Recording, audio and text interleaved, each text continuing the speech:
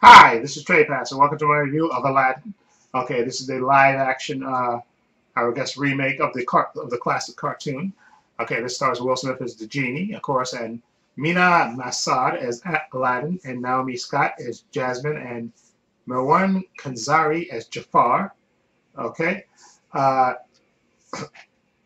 going into this movie, like like a lot of people, the first, you know, the first teaser trailer, and Will Smith's genie looked he looked like a blue mess, to be honest. But the second trailer, you know, kind of restored your faith in it. So I was looking forward to this movie a lot because I love the cartoon and love Robin Williams as a, as a and stuff. Love the songs and stuff. So I was looking forward to uh, this uh, movie, and it didn't disappoint me. I actually uh, quite like this uh, live action animated, uh, uh, not animated, live action version of Aladdin.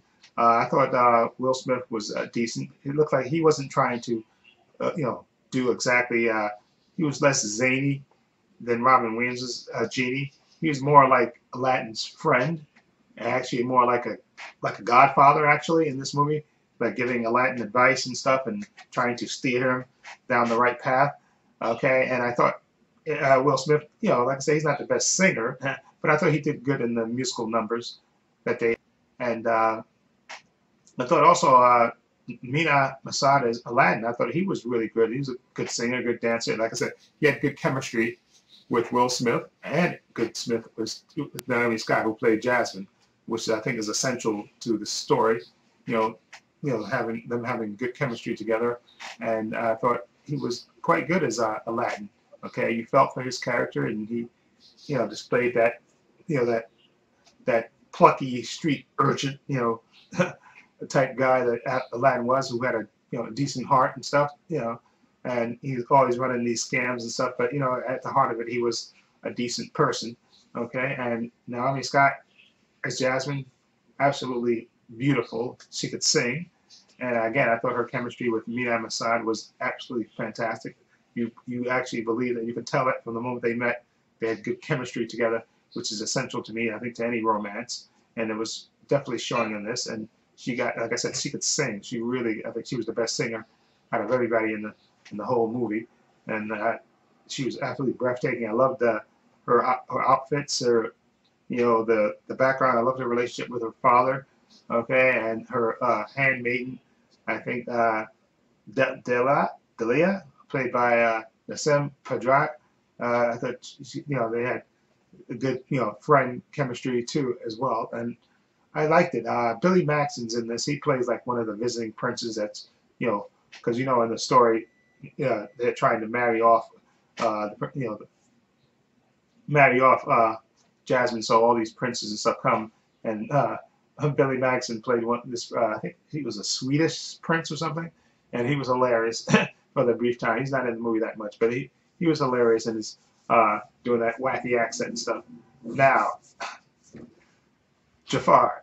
Now, I said before, I think when I did one of the reviews of the second video, again, the uh, Jafar, I, maybe it's because I'm, we're so used to Jafar being the older guy with that, just in the way the animated version was, and just him being so big and imposing.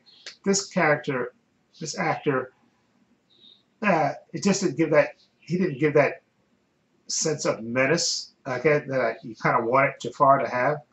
And I definitely think, but I, uh, what's that guy? I'm trying to remember the, the guy from The Mummy. I forgot the, what the actor's name is. The guy not the guy that was in The Mummy. The guy that was helping Brendan Fraser. I can't remember that guy's name to save my life. But he, I think, would have been a better Jafar. And I think he did play Jafar on Once Upon a Time. I think he did. So that actor, whatever his name is, him, he would have been. Well, he already played Jafar, and I guess so. I guess they wouldn't put him in the Disney movie because he did play Jafar on uh, one. Uh, I gotta say one day at a time, not one, once upon a time. He did play Jafar on that TV show once upon a time, and he was really good. He, that type of menace uh, and evil. This guy didn't just he didn't portray that to me, so which which is sort of a letdown because you want Jafar, you want your main baddie to be have screen presence and and project the right amount of menace. And I'm sorry, I just don't think Marwan Kenzari portrayed that. I, I just he didn't it didn't come off that way to me, which is which is sort of a letdown to me. I just I wanted a more menacing Jafar, okay, and he just wasn't it to me. I'm sorry. his voice was just too light, not deep enough, and he just didn't look evil enough. If that's a, a way to to describe him, I just which is you know which is kind of sad. But anyway, I, I like I said, I loved uh, Will Smith's genie character, and uh, again, I loved that his relationship with Aladdin was more like a godfather. He was trying to steer him, uh, you know, trying to steer him to, down the right path, and they were more like friends, which I think was which were, was a really nice part. Like I said, I like the musical numbers in this too. I thought the music was great and stuff, and I thought again, Will Smith can't sing, but uh, he did the best he could in it, and he acquitted himself quite nicely in the in the numbers. I thought. And again, I think again, I think Naomi Scott was the best singer out of all of them, and she again, her and Mena Massoud had great chemistry as you know Aladdin and Jasmine, and I enjoyed this movie. I enjoyed it a lot. Okay, so I definitely recommend it, and wouldn't mind if they do a sequel because I, I I really enjoyed the movie a lot. I thought the characters were great. Like I said, like I said, Jafar was my only negative for this movie, but other than that, I, I enjoyed it a lot. I thought that the background design and everything else was absolutely fantastic and breathtaking.